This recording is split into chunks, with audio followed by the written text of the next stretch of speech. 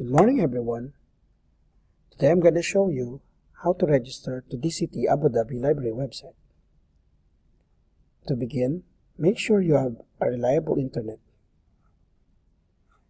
And then on your browser, type library.dctabudhabi.ae.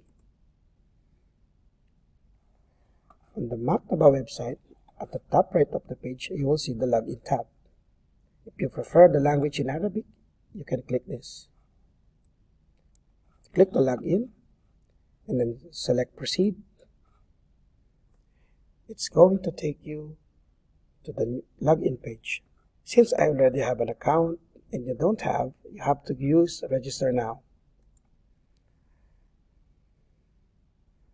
And then on the new reg registration page, you have to fill up the necessary information such as username, email, password, confirm password, first name, last name, birth date, mobile number, and then select UAE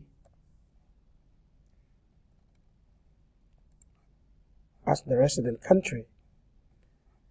Then after that, you have to prepare your Emirates ID.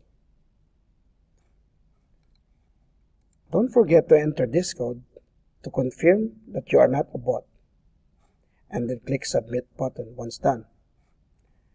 And then on your mailbox, you will receive an activation email such as this. Click on activate and then you're ready to go. That's it folks. Thank you and stay safe.